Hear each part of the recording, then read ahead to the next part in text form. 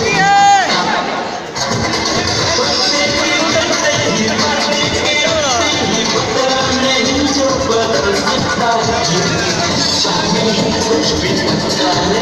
कितने होंगे जो कुछ भी सब खेल